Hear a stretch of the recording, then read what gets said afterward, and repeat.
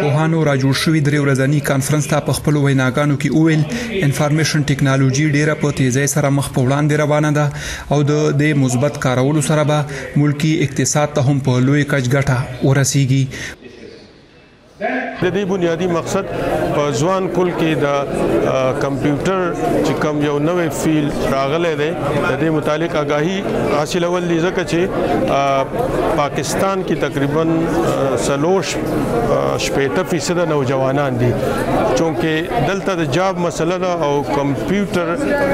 ټیکنالوژیز یا ارتفیشل انټيليجنس یا ډیټا ساينس سایبر سکیورټي ډیر زیات د کمپیوټر فیلډز دي چې په هغه کې زموږ ځوانان ټریننګ حاصلول شي پوهان وايي پاکستان هر کال 15 زره ماهرین په انفارمیشن ټیکنالوژي میدان کې پیدا کوي او په نړیوال کچ اتیا زره نه هم زیاتو تنانو ته ضرورت دی دوی وايي کوم ځوانان چې په هنتونونو نه ډیګري ترلاسه کوي نو دا یو غټ چیلنج دی چې څنګه به هغوی بهر مارکیټ نه ګټي ترلاسه کوي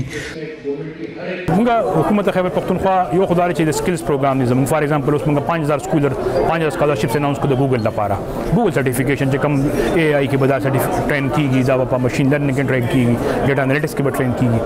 بیا زموږ چې کوم ډیفرنٹ سکولز موږ اوس چیف منسٹر صاحب چې کوم د سکولز مته اپروول راکو یو سکول اف اے آی دی ارتفیشل انټيليجنس دا پاکستان کې فرست اف اټس کاين سکول دی سکول اف ارتفیشل انټيليجنس سکول اف ډیجیټل گیمینګ نو دې کې چې کوم دوه ایمرجنګ ټیکنالوژیز دي دا دوه نو په دې کې به بیسیکلی ګریجویټس راځي او موږ ټرین کوو او انټرنیشنل مارکیټ سره کمپیټ کوي په پیښور زری په هنتون کې درې ورځنۍ غونډه د انفارمیشن ټیکنالوژي په موضوع را جوړه شوې و